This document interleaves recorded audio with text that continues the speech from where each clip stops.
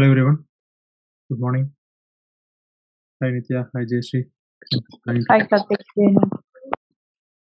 Hi, Karthik. All right, let's uh, start our class today. And if people want to join, let them join. So today we are going to start on day 31st. So this is the agenda for today's class. We are going to talk about hash table class, properties class, and dictionary class, which is an abstract class. Okay. So the hash table class is something like uh, I want to tell you how it actually works, so that like guys will understand whatever we learned so far, uh, hash map and all those stuff, right? So how it internally works, you'll get in and out of it. And properties class is very very important because uh, you are going to uh, definitely going to use in your application in any of the web applications. And dictionary class we rarely used, but we have for knowledge purpose we have to learn it. So let's get let's get started. So th- we know that this is a collection framework diagram. We usually start with where we have nine key interfaces we have. So we have a collection interface. Underneath we have list, set, and queue and map. So list means it up it allows duplicates and instance not is maintained. Set means it won't allow duplicates. It won't maintain the instance order, and uh, it actually do by sorting by default sorting, which means like sorted set. If you want to have more methods for navigation, then you have to go for navigable set. Similarly, map is for key value pair. Duplicate keys are not allowed. Duplicate values are allowed. And if you want to go by sorting the data based on keys, then you can go for sorted map. And if you want to get extra methods for navigation, then you can go for uh, navigable map, right? The same thing whatever we learned. So now it's time to learn about hash table. So hash table actually comes under map interface. So if you guys see here this diagram, we have a map interface. Underneath we have hash table class. Underneath we have properties class. So what does it mean? Hash table is a class in Java which actually implements map interface and extends dictionary class. Dictionary is an abstract class. We have seen in our previous classes what is a class, what is an abstract class, what is interface. So abstract class means anyone can tell any idea? What do you mean by abstract class? Only declaration, abstract method. Right. So interface also has the same thing, right? In interface also you declare all the methods, but you won't define it, right? So there is a difference between interface and abstract class, right? So let's say this is interface, map interface, and dictionary is an abstract class, right? So there is a difference between interface and abstract class. So if you want to make all the methods whichever you are going to declare inside a let's say interface or abstract class, if all are abstract, which means that is interface. But if you think, let's say, out of four methods, if you want to declare three methods as abstract and another one as like kind of you have to define it, then you can go for abstract class. There is a difference between abstract class and interface. Okay. So here hash table is a class which implements map interface and extends dictionary class. Okay. Now let's get deeper into that. So map interface underneath we have hash table class which implements map interface and extends dictionary class. So whenever we see any class in collection framework, there should be some underlying data structure will be there. But for any interfaces, there won't be any data structures, right? Because interface is nothing but specifications, right? But class is nothing but blueprint, which means like it, it where they define a lot of methods and logics. So eh, since a hash table is a class in Java, there is underlying data structure. The underlying data structure in hash table is nothing but hash table itself. Okay. So let me start from the beginning. So whenever we say in whenever we we study about any class in Java, you guys see here hash table T is not capital, T is small. There is no camel case. All right. So the underlying data structure is nothing but hash table itself.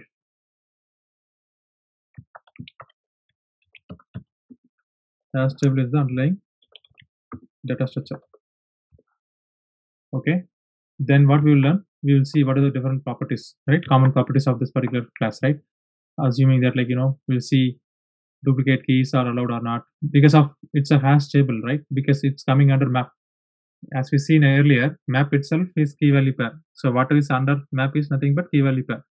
So since hash table is a class which is under map interface, which means hash table also stores key value pair, right? So if you see here, then we will see the properties of how it stores the data, how it allows duplicates and null values, right? Keys and null values. If you guys see here, it won't allow the instance order. The reason is that the reason is that it won't allow it uh, it won't maintain the instance order because there is a hash in the name, or I can say hash here. Whenever you see something hash, it means it stores the data based on hash code of the keys. What it will do whenever I say hash code of the keys, first it will apply the hash code. You guys remember there is a method called hash code in Java, right? So you first will apply the hash code for that particular keys. Okay. And then whatever the value it comes, based on the value, it will arrange the data. It won't do by instance order. So that is the reason it won't allow the instance order. And duplicate keys won't be allowed because let's say you have two key, let's say one and one. And if you see one and one means key is one one. Let's say you are storing something like this. Okay. So you are storing one key, comma value. Okay. So key is one, comma Karthik. Okay. And again, you are storing one, comma let's say Java. So if you guys remember here, it is actually storing the data because of hash table. It is storing the data based on the hash code of the key. What it will do? First, it will apply the hash code method on this particular key, one. So the hash code of the hash code of one is let's say one. So on the first bucket, it will allocate. It will sorry, it will put the map. Uh, it will put the value as Karthik. So second time, what it will do? Again, if you say one comma Java, again it will apply the hash code method over here. So hash code of one is nothing but the same. Let's assume that the same bucket wherever it is. Then it will put the same Java. So then it means Karthik is replaced with Java. So this is the reason when whenever we say these guys won't allow duplicate keys or duplicate objects, this is how actually it happens. Is it clear for you guys?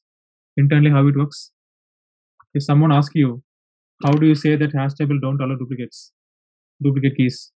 These were the logic, the technical proof. Okay, and values it can allow because values it is not applying the hash code. It is going to apply the hash code method only on the keys. Okay, so that is the reason keys won't make a duplicates. And heterogeneous objects keys and values are allowed and null keys won't be allowed because it is using key.hash code, right? It is using the hash code of this. So it won't allow. And if you use it in the values, it will throw null pointer exception. I will I will show you that. And as always, we know that all the classes inside the collection framework is by default implementing serializable interface and cloneable interface. So let me start from the basic class. Uh, let me start writing the program. Let me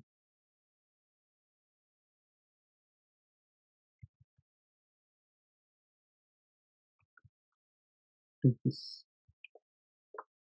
Okay. So let me close all my previous class examples. Let me start from the scratch. So new class let's say hash table demo. All right so actually i was thinking based on the slides we have since you guys will be using the slides going forward so better I can create the examples based on the slides what I have so that you guys can understand and compare it here. I can say the same thing, okay? Hash table h equal to new hash table. Inside that I will create, uh, I will add this objects based on this example what I have, okay? So basically what I'm doing, hash table. If you guys see here, this t is not caps, okay? There's exception. ht is equal to new hash table and also I will tell you why they didn't create this hash table with a capital T. The reason is that this hash table was created since Java 1.0. Okay, when this Java created, when the people, the authors, these guys created this Java language, they are not following up all the classes with the standards, camel case. So that is the reason hash table was very, very legacy class. And they didn't mention proper naming convention here okay there is a reason so now i want to say ht dot put I will add the key value pair based on what I have here. Okay. So here what I'm doing is ht dot put off new employee of 10 comma USA, new employee of 200 comma India like that. So what does it mean? New employee of something. What does it mean? It means I am creating an object of employee class and then add that here, isn't it? So assume that let's say I have a class called employee has table something like that because I think employee class uh, already have in my package, so it will throw compile time error. So for that reason, I'm creating like this. So what we typically do once we create a class, you will define your own constructor. What is the constructor? Like this, right? Same class name and method with nothing, right? This is a default constructor. Default constructor. Now I want to pass employee ID and then using that one I want to create. Let's assume that int emp id okay and then you are creating one more constructor by which accepts integer which accepts integer let's say emp id okay what you have to do? This dot emp id equal to emp id you guys remember this one? We have learned some time back. Whenever someone calls creating object of this class by passing the employee id it is going to create an object of this class. Employee hash table with employee id value will be assigned based on whatever they're sending it. To define this particular to refer to the current class we have to use this method this keyword. You guys remember? We have used uh, we have learned this one earlier. So what i'm trying to do here is i'm going to say put new i want to store an object as a key. And value i can say usa let's say usa this object i'm going to pass let's say 100 so what does it mean? So ht hash table dot put. Here i'm saying new employee hash table of which means i'm going to create an object of this class because new is the keyword used in java to create a new object of class what? Basically this line is same as like this. This line is same as like this either way you can write it.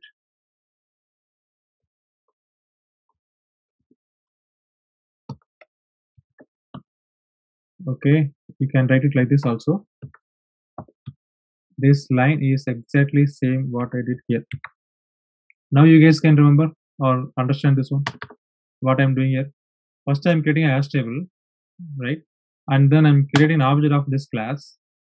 And then that object i'm passing it here the key the same thing what i did. Instead of doing this assignments or object reference what i did i simply take this new constructor everything and then put it here so that we don't need everything here. Is it clear jay Shri, uh, nitya? So far.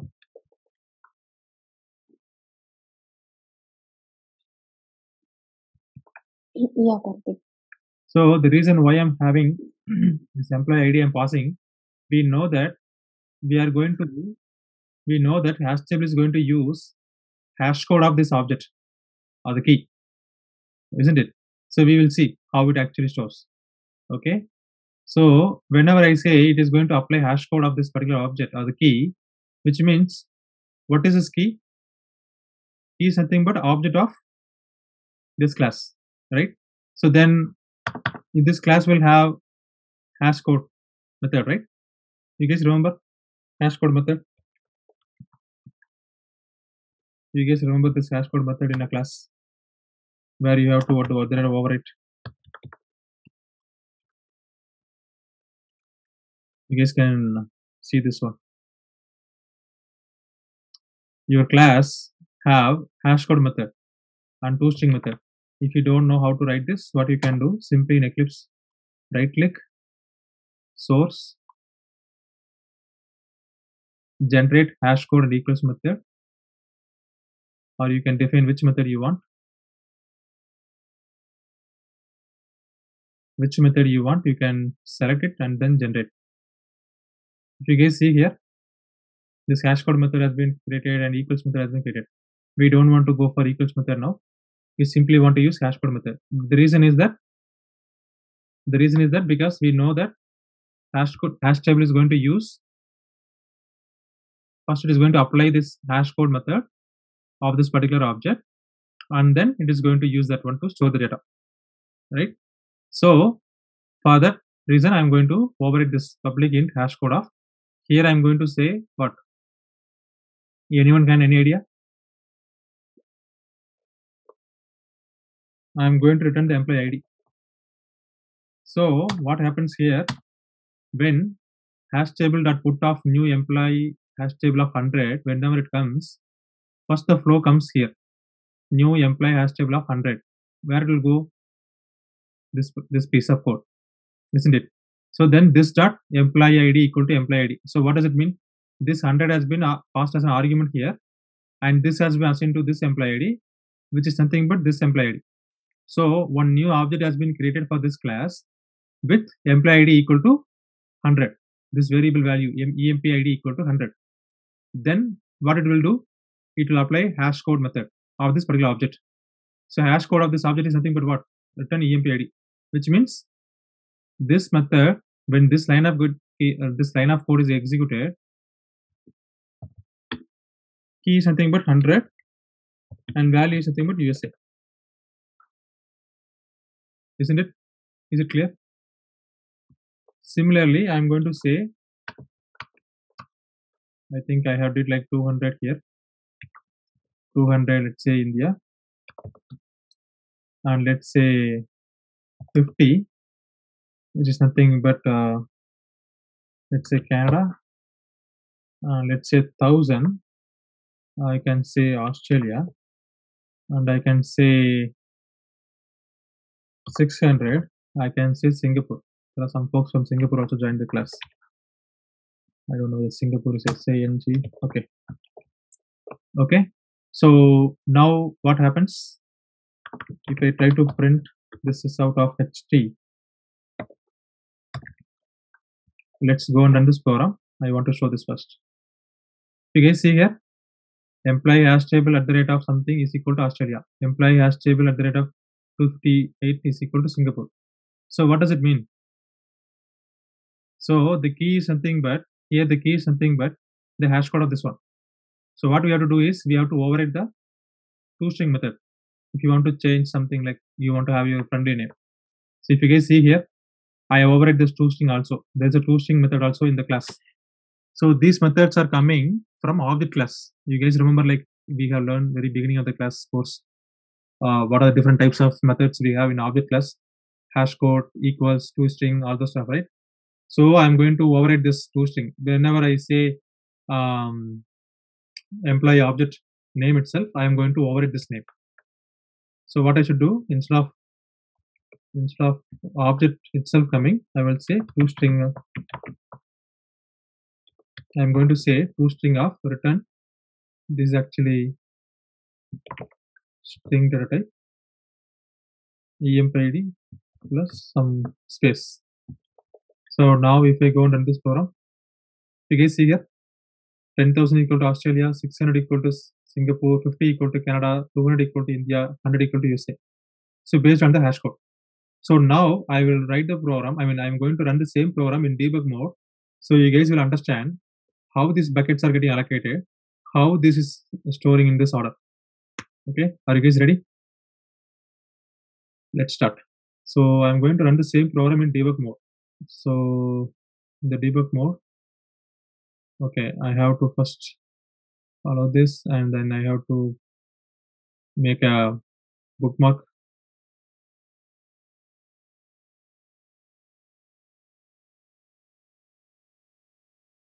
okay now my the piece of code is in the line of 7 right line number 7 now I'm going to execute this one. If you guys see here, so far nothing is there, isn't it? You guys don't see anything. The moment I execute this piece of code, line number 7, you guys see here, hash table has been created. Hash table has been created in the stack memory.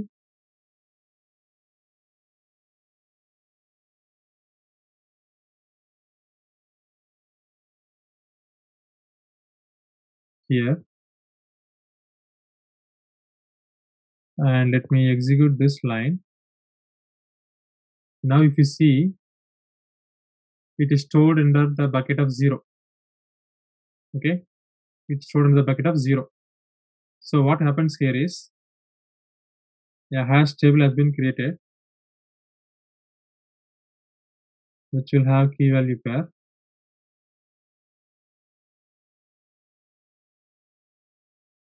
If you guys see the slide the previous slide where I mentioned about hash table HT equal to new hash table of right? So what does it mean? I said like 11 and 0.75 so which means it will create buckets 0 to 10 okay? So if you guys see here it actually starts from 0 here sorry. So 0 to 10 so first it will apply. So basically it will apply the modular function here. What does it mean? In our in our case what happens is 100 right? So the hash code of this particular first uh, entry is nothing but what? 100 so 100 modular 11 100 modular 11 similarly 200 modular 11 11 is nothing but the default capacity. The default capacity of this hash hash table 0 to 11 0 to 10 right? So whatever the output of this one the 100 modular division 11 so whatever the number it comes let's say it's 0 right? Or whatever it comes based on that it will choose this bucket. It will be between like 0 to 10 isn't it? You guys can see here maybe this is uh, very pretty much clear here the variables. You can see that. Can you guys see here? Uh, understand this concept so in this case 10 200 150 356 i i applied here right? So what happens is 10 modular 11 which is 10 200 modular 10 11 2 which means it will be stored in the second bucket. If this record will be stored in the first bucket. If two records in the store the same bucket it will be in the list within the same bucket. So that is the reason you are seeing the output like even in our case if you see see this is stored under bucket 1 okay. And if I run this one okay this is stored under bucket 2 see? That is how it comes. These are the internal structure how it stores the data. And 1000 equal to Australia. This one 600 equal to Singapore. This one 50 equal to Canada. This one 200 equal to India and this one 100 equal to USA. This is how it stores the data. Is it clear, everyone?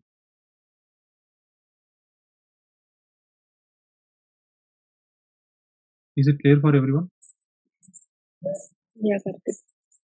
So this is the internal structure of how the hash table works. Okay. Anyhow, we are going to learn the same thing in uh, upcoming class also how hash map works, how hash table works. But this is the underlying structure of hash table. Now you will see this one. So what are the different types of constructors we have with respect to hash table? So one is a default constructor, which means by default you have 11 and 0.75.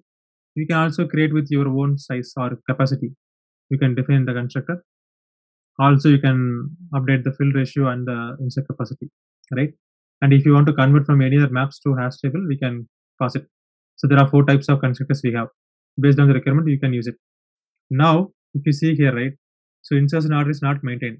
We have seen the proof, isn't it? Insertion order is not maintained, right? And duplicate keys are not allowed.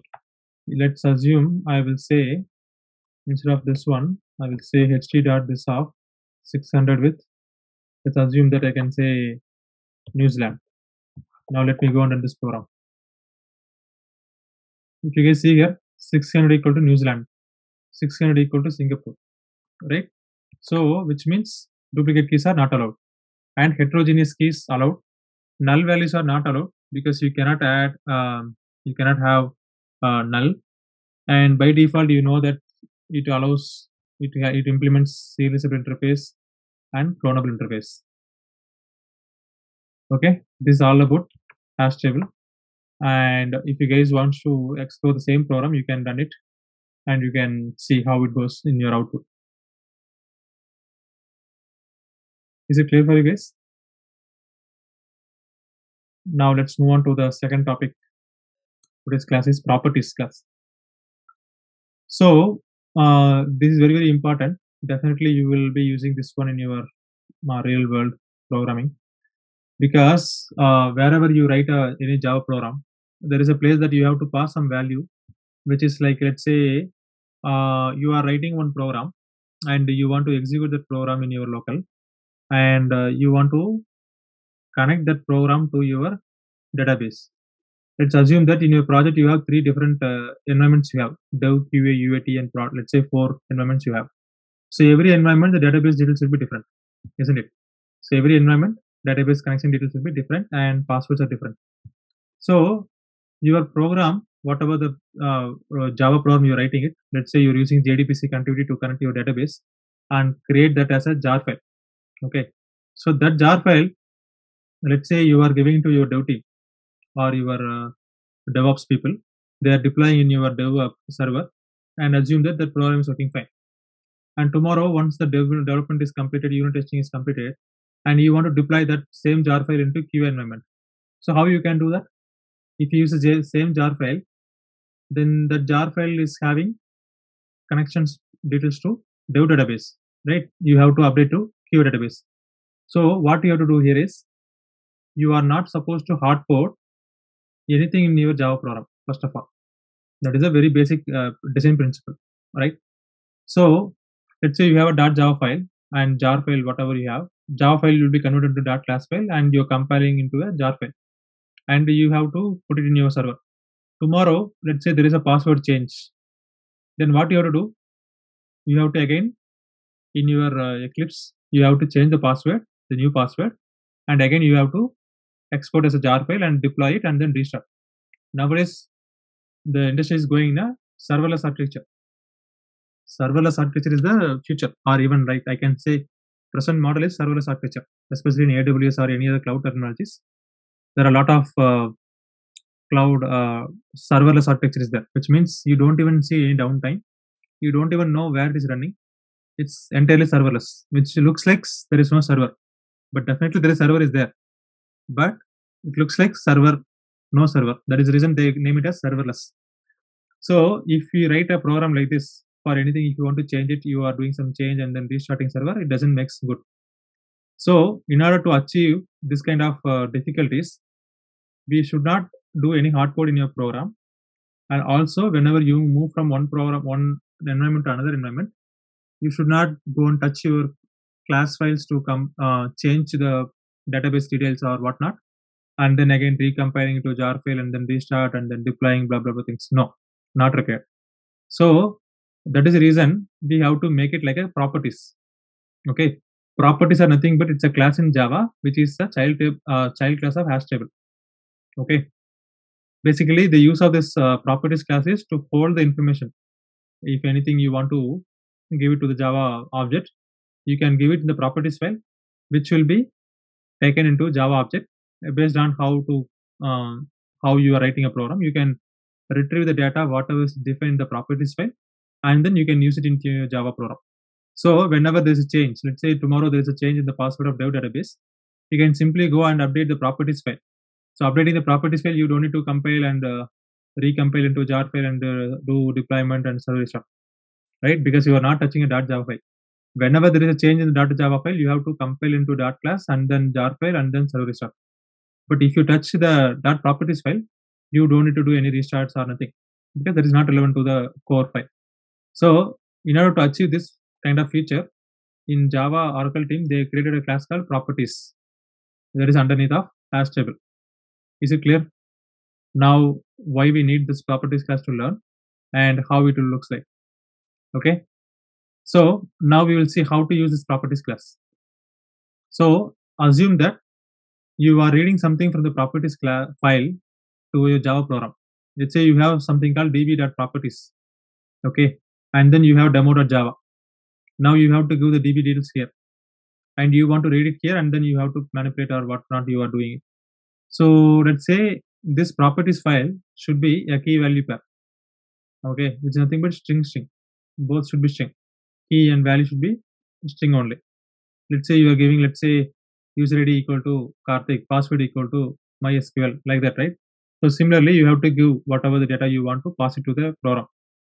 So if you guys see here, in typical application, in like a Spring Boot application, we have application hyphen dev dot properties, application hyphen QA dot properties.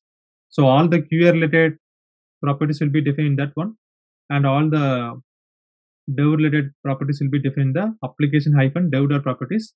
And these are like a profiles. When you go to the upcoming classes of uh, learning Spring Boot microservices, I will explain. But for now, you guys think this is the base to understand how it internally works. When we go to Spring Boot application classes, we will learn just to use that properties file to uh, have the value. But how it works is what we are learning now. This is the time that you have to use the opportunity to learn how it works internally.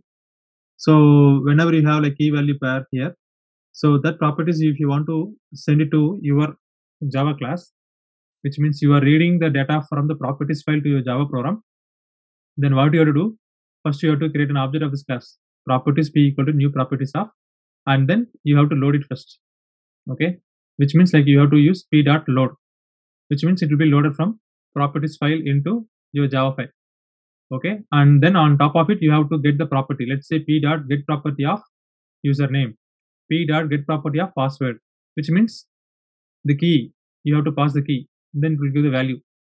Okay, so based on that, you can get the key value pair, and also you can able to set the value also here back in the same properties file. That is also possible.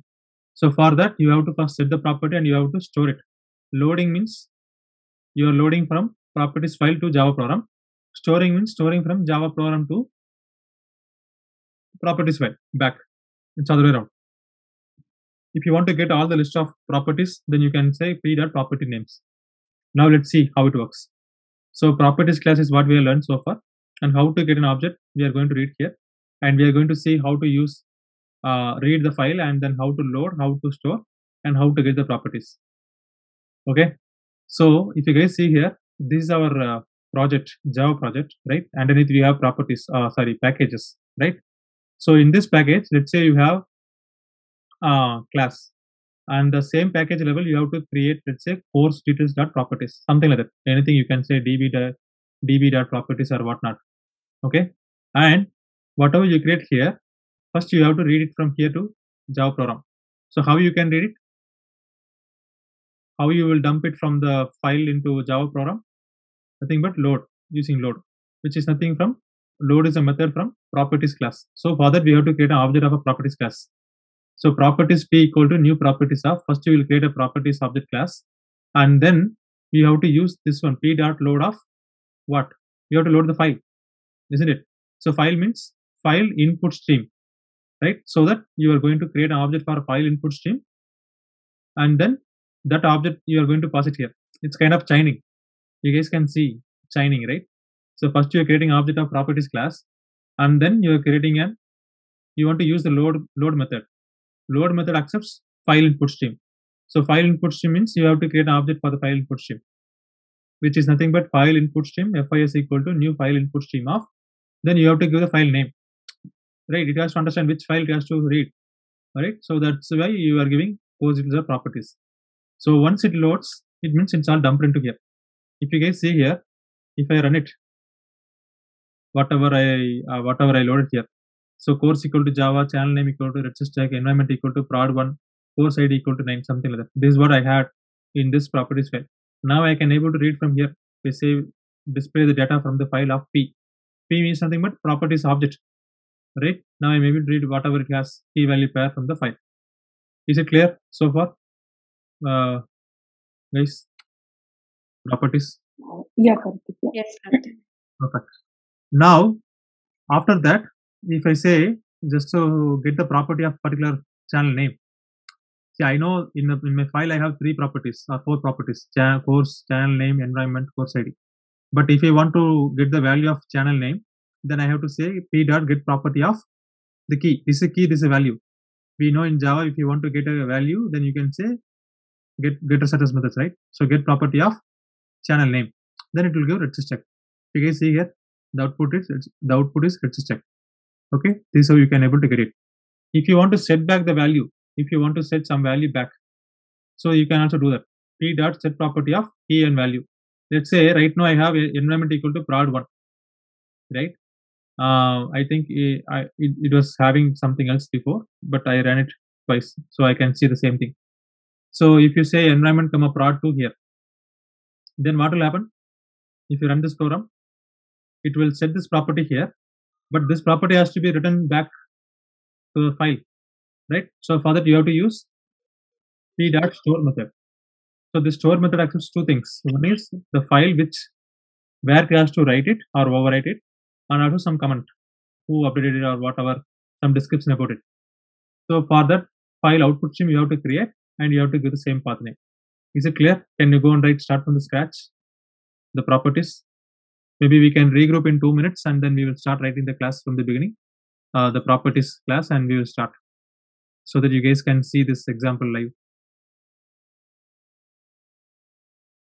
Then we Yeah, can Karthik. in the next session. Okay. Okay. Let's stop here and we will regroup in two minutes and then we will start writing a program to start reading uh, properties and writing back. And then also we'll continue with the dictionary class also. Uh, and then we can end up for today. Okay. Thank you so much, guys. Thanks for joining today. Bye. Okay. So now we are going to start writing the class, um, which is nothing but uh, for testing our uh, properties class, right? So I'm going to start from saying properties demo. Oops.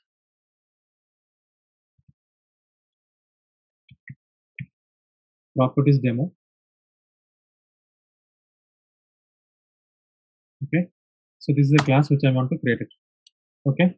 So here I want to create in my package. If you guys see here, here I created something called uh, course details dot properties. Right. So let me start creating something called uh, let's say db. Let's say I can create some file called uh, db dot properties. That file extension should be in properties. Okay, dot properties. So now you guys see here. Uh, you get it here.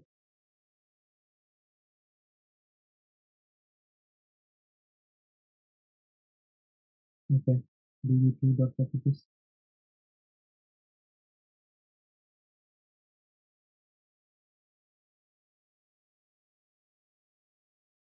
Let me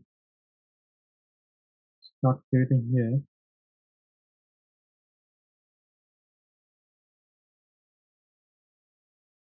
Or I can create a new package.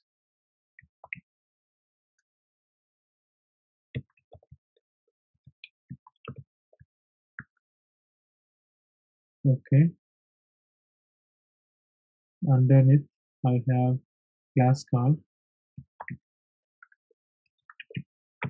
properties demo. You guys can see the use of uh, packages because in, da- in default package also I created a class called uh, properties demo, isn't it? You guys see here properties demo, right?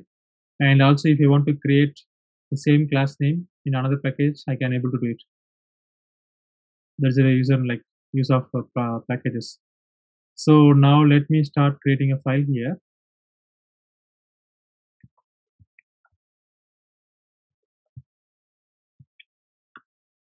Okay, now you guys can see here, right?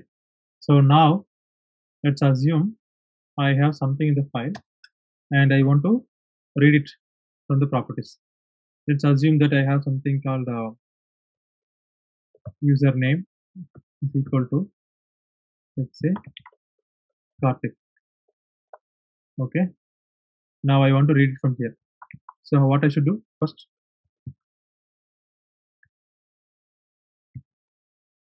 Properties p equal to properties of isn't it? Properties is a class in Java. Okay. properties is a class in Java which is a child class of hash table. If you guys mouse over here, public class properties extends hash table. Okay. Now what we're trying to do here is we want to first load the data, right? So first means like p dot load of input stream we have to pass. So input stream means what? File input stream because we're reading from the file. So which means file input stream FIS equal to new file input stream of then you have to give the file name right so file name is nothing but because since this file is in the same package which is in the class, same class path. You can simply do the file name same ed dot properties.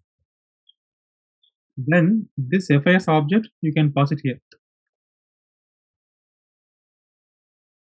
You guys remember like what is happening here? Uh, before I go and click on this one any guess why it is giving some compile time error or something like that? Any idea anything wrong here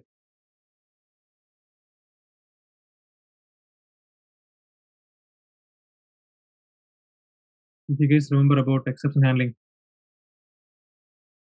exception handling we have learned compile time error, runtime error, compile time exception, runtime exceptions. So here what we're doing in our Java program, we are reading something from the file, right? So there is a chance that the file may not be available. So which means we have to handle that exception. If you guys see here, file not found exceptions. Um, if you guys remember about uh, how to handle those, we have we have learned about those in our previous uh, classes. Input output exception, file not found exception, class not found exception, right? Alright. Yeah, Karthik. You, you handle this scenario where you are reading something from the file by simply giving either throws type exception or give it in the try catch. Either way you can handle it. So now what happens is using this uh, properties object, you are getting it from the FIS and then you're loading it here. So now let me simply print it, whatever got loaded. I want to just see what it got loaded.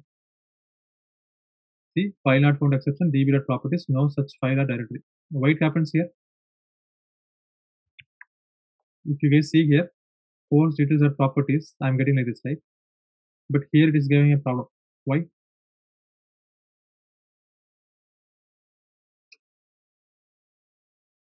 Anyone have any idea?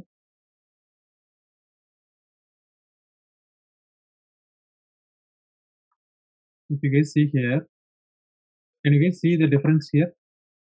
This properties file should be at the project level. If you guys see here, this hierarchy is at this level. But the class are inside this package. But whatever I created here is inside this package. It should be at the where? Is it here? Now is it clear?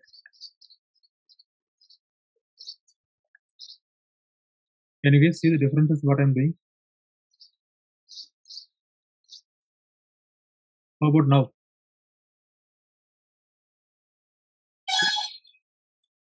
Can you guys see the difference? The error which I am replicating and then fixing it.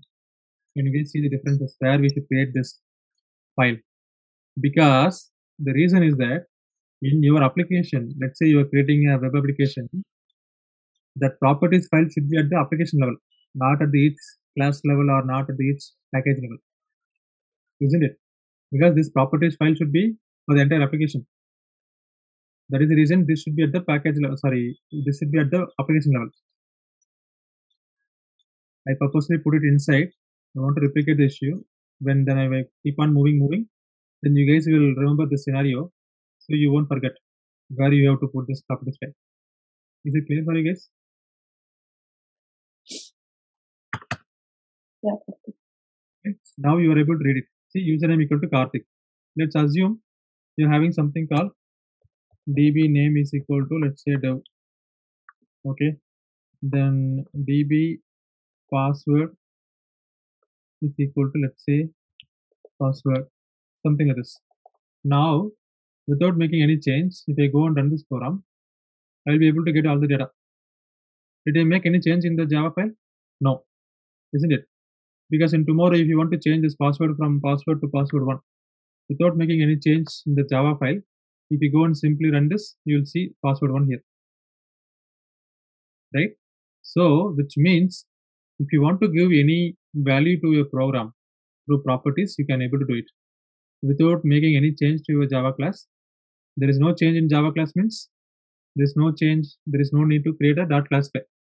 Then there is no need to rebuild your program or your project. No need to create a new jar file. No need to deploy it. No need to restart it. Right? This is very, very helpful. If you go for uh, any desktop based applications, if you write it, you have to understand how you are going to pass the value dynamically without hard coding in your program. Now let's see how you are going to send it something back to your program, uh, to your class, sorry, your uh, properties file. So for that, what I should do, I should say is dot store off. So here it expects something called output stream and string comments. So comments I can say updated during live class. Okay. So this output stream, right? Output stream is something but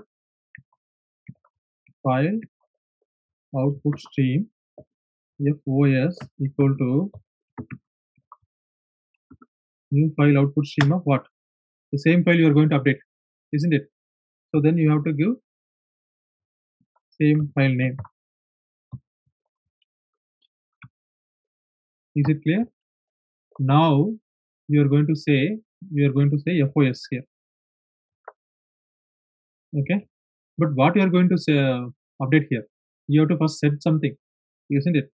So what you have to say p dot set property of let's say username I want to change it to instead of Karthik I want to change it to Karthik one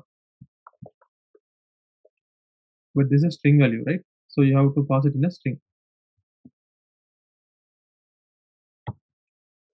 This is also string. So here I'm telling hey on this property wherever it is using set the property of username as Karthik1 let's go and run this program. Didn't update. What happened here? Can anyone tell me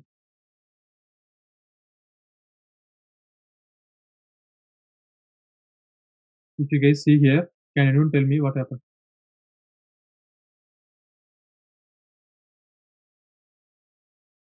This is actually printed from here this line number 16 but whatever is updated here is updated in the where? The properties class properties file right? So whatever you're seeing here is nothing but the original value which is coming from here line number 16 but whenever you set it whenever you store it it's stored directly in the properties file itself because here. Username is karthik1 and comment has been added automatically. Updated during live class and time also. Is it clear for you guys how to use the properties class in java?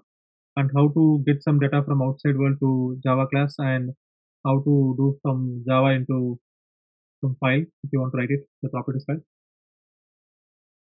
Any any more explanation required to understand these concepts?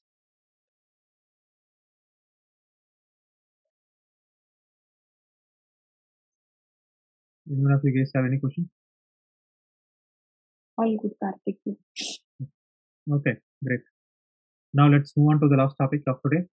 It is di- dictionary class. Okay. So dictionary is Uh, Karthik, I have, uh-huh. go ahead sorry, Karthik, yeah, one question. Actually, this is not relevant to this one, but uh, we do have a properties file into BIRT as, well, right? which one So, uh, when we design BIRT report, right, that time also we are having properties file. uh-huh So, there also it is having, you know, same purpose like storing the.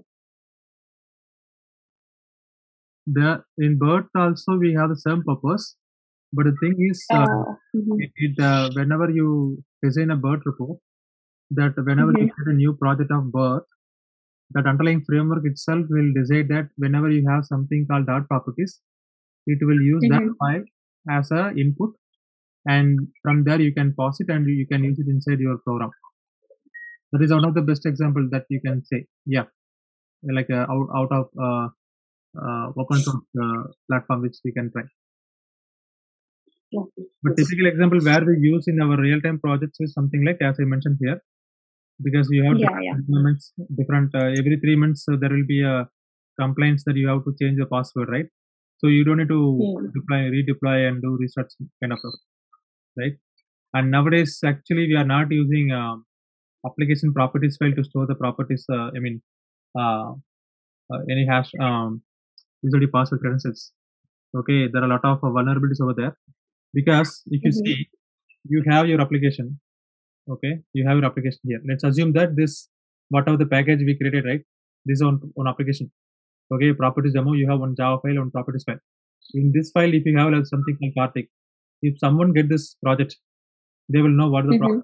what the password is right so Yeah. now when i say since i work on some cloud technologies uh aws gcp so there is a new product called HashiCorp there is a company called HashiCorp uh, what they do is uh, using um, there is a separate system where they have there you will be storing all the user id passwords and it will be always by encrypted by uh, one way one way encryption which means you cannot decrypt for sure. Okay? And then your java Mhm. application you can directly get it from there but application that uh, properties files are used uh, mainly in the spring boot application to tell some other detail- details let's say uh, what is the environment name all those stuff but not like credentials okay but the underlying logic is to store from uh, java to the properties file or properties file to java how you are going to implement is same what it is Yeah. Yeah. Okay is it clear Rishi? Can you move on Yeah. Yeah. Yes. Yes. okay so now we are going to see dictionary class okay so dictionary is a class in java as i said like it is kind of uh, if you see the hierarchy dictionary is a class here but it is actually it's not coming under collection framework if you guys see here even map is also not exactly coming under collection framework if you guys go to uh, let's say the default one where we have a lot of classes right? Uh, where we have hash map demo or whatnot right? Let's say if you go to hash map class which extends map interface. If you go to map interface just interface right? Map is interface. It didn't come from collection interface. You guys notice here? So this map interface is not coming under collection interface. This map interface is not coming under here the way how we put the diagram here list set take queue these and all coming under collection interface but map is not coming under collection interface isn't it? But since we are dealing with more than one one object which means collection that is the reason we are reading we are learning map and all related things. Don't think like map interface is under collection interface. Map interface is a standalone. If you guys see here public interface map that's all. We didn't implement any interface or didn't extend any interface sorry. Is it clear?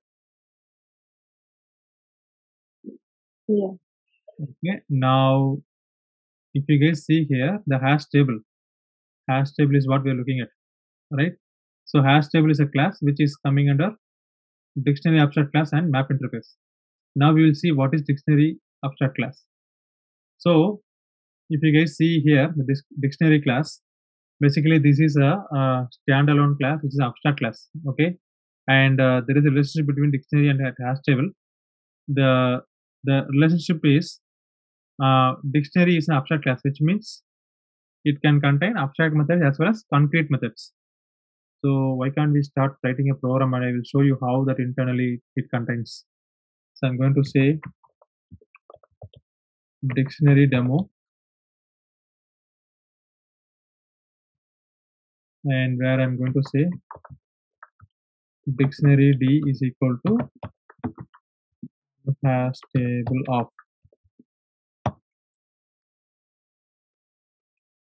Okay now if i go to the dictionary class if you guys if you guys see here public abstract class dictionary which is nothing but key value pair. It also is to store key value pair but it is standalone. This also introduced in 1.0 okay. This also introduced in 1.0 which is like very basic of when java was uh, evolving. So this also created where if you guys uh, have a requirement to store uh, let's say uh, same like how to enumerate and other stuff like iterating the elements you can use it within the dictionary class. If i go to dictionary class you see this is a class this is the constructor you guys see here this is an abstract class abstract method. Okay makes sense. Okay abstract method. Okay makes sense. If you guys see here all are abstract. You guys see here? All are abstract. Isn't it? So if you make a class inside a class if you create a class inside a class any method if you denote with abstract then definitely that class should have been mentioned as abstract otherwise it will throw a conflict error. Which is nothing but when i say compile time error is nothing but what? Compile time error is nothing but compile is throwing some error saying that this is not correctly matching right? So which means we are not following the principles of java programming. That is why correct, uh, um, compile time error is throwing saying you know hey this is mentioned as abstract your class name should be abstract. Go and do it like that right? So similarly in dictionary class also you can able to add key value pair. If you guys see here you can be able to add same method like put off 100 comma red 200 black all the stuff. It will use the same concept. Okay here i say 100 210 right? So here i say 100 model 11 how it is doing? 100 model 11 there we used employee object isn't it? But here i'm not using employee object i'm simply putting integer values. Let's say d dot put off d dot put off let's say 100 and value also i can make uh, if you guys want to go here same I can say red. And similarly I can say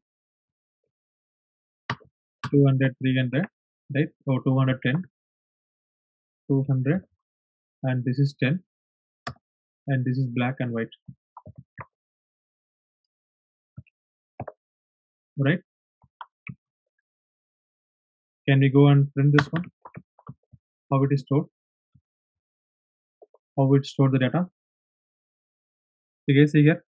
10 is white 200 black 100 is red right? Which is nothing but it applies the same formula here 100 modular 11 100 nothing but hash code. So here you are passing int int isn't it? 100 is nothing but int. But it do auto boxing. It will convert that uh, int int 100 into an integer 100 and then for that 100 it is going to apply the hash code. The hash code of 100 is 100 so 100 modular 11 is 1 200 modular 11 is 2 10 modular 11 is 10 so that is why it is printing like this. You guys are getting here 10 first and then 200 and then 100 bottom top. Okay? And similar to hash table it won't allow uh, null key because it will throw null pointer exception. Uh, I put something like that. Alpha d dot let's say something called null. And value I can put value I can put something let's say 500 550 something like this. Let me run this. See null point exception. It says like okay hash table is 465 this one because if you guys see here it is applying the key dot hash code hash code off. Here the key is what? Put off key put off what we are putting? Null. For the null it is time to apply this hash code. The result is giving an error. Okay and uh, if you guys want to get a particular value you can use get method it is very simple to use it like how we used for um, hash table the same one. Okay and if, you if you guys want to enumerate or iterate inside whatever the element you have if you want to go one by one you can use for loop. For enumeration equal to d dot keys. Enumeration we have learned about right? Already? Iterator enumerator the same concept. Enumeration equal to d dot keys So it means like you are going to iterate all the keys and if it has more element then print that element. So in our case we are going to say for enumeration E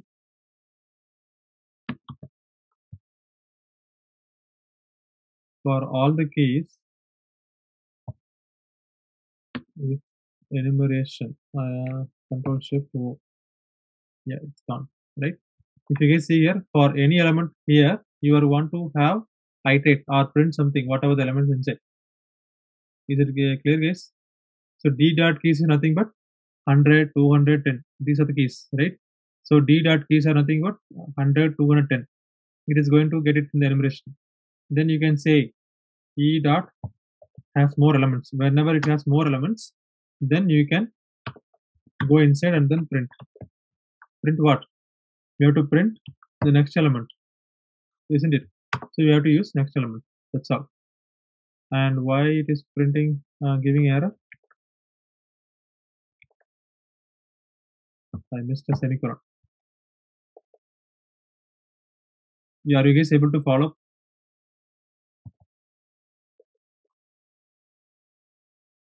10 200 100 is it clear all the elements i can able to see how it got stored. Only the elements 10 200 and 100 is it clear for you guys? I think i missed one part here uh, on the hash table. Um, if you guys see here when we have to go for hash table more important right? We have learned hash table how it works internally. But now it's something like we need to know when we should use it. So as I said earlier, hash table is a class in Java which is like introduced in 1.0, very very beginning. Uh, even I can say I can call hash table as a legacy class. Okay. So the reason why we should not use hash table is inside a hash table, whatever the methods are there, all are synchronized. All are synchronized. What does it mean? The hash table demo, if we go here, if we go to this Oracle documentation, this hash table class, okay, these are all variables, right? What are we see here? If you see the method, this is the constructor, this is the constructor, constructor, constructor. Yeah, you see here, there is a keyword called synchronized. Size also synchronized, isEmpty also synchronized, and enumeration also synchronized, whatnot, right? Every method will be an synchronized. So in a class, if all the methods are synchronized, then we can call that class as a thread safe class. What does it mean? If two threads wants to access the same method, if that method is uh, defined with synchronized, it means we cannot use this method for multi-threaded environment, which means only one thread can able to access this method and do it. Only after the first thread completes, only then second thread can able to get into here. Is it clear for you guys? Whatever I the new concept. So hash table class, all the methods inside hash table are defined with synchronized. Whenever you see synchronized keyword in the method, whenever you try to make two more than one thread to access this particular method, it won't be possible. If you want to restrict more than one thread to access a particular resource, then you have to use synchronous keyword. This other way of telling it. Okay. Since hash table, this class was defined by Oracle developers in Java 1.0 with all the methods synchronized, which means hash table cannot be used in a multi-threaded environment. Where we should not use is in a multi-threaded environment because hash table all the methods are synchronized, which means thread safe. Thread safe means not more than one thread can able to access that particular methods, which means definitely performance will be lower right which you cannot use like multi-threaded you cannot make it possible. So performance is lower. So whenever you try to read or write you cannot use hash table. But in case of search you can use it. Is it clear for you guys? This one i missed it earlier. I also wants to touch up. The hash table. So hash table we are not using nowadays because of the performance issue we are using hash map and other stuff because whatever you have here the synchronized uh, thing you can get it without synchronized, which means you can be able to use other classes for multi-threaded environment. If your requirement says that you won't have a multi-threaded environment, then you can go for happily go for hash table. But nowadays, every program what we write is mainly to satisfy multi-threaded environment. Right? Any questions so far? Whatever you have learned, I think we have covered everything. Anyone have any questions? Please let me know.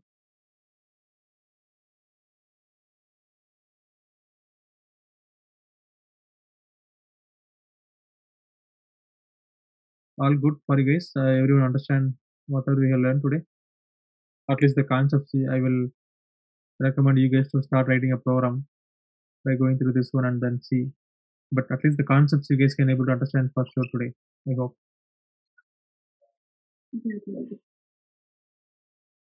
Okay.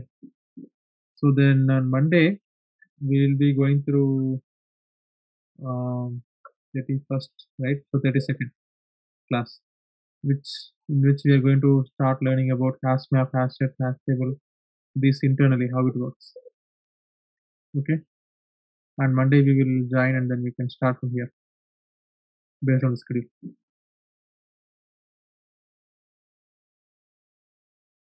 Alright, guys. Uh, thanks for joining and learning Java together. And uh, we'll see you on Monday. Have a good weekend. Have a good day, guys. Thank you, everyone. Bye bye. Thanks, Karthik. Bye. Good night. Thank you. Bye. Bye.